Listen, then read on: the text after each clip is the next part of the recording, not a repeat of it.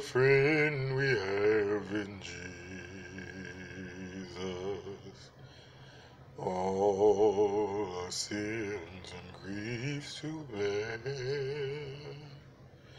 What a privilege to carry everything to God in prayer. Oh, peace we often forfeit,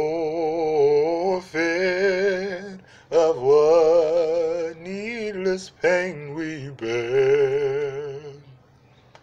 Oh, because we do not carry everything to God in prayer.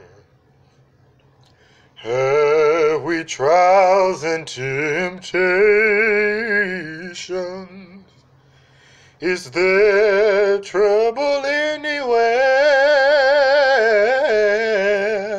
If we have, don't be discouraged.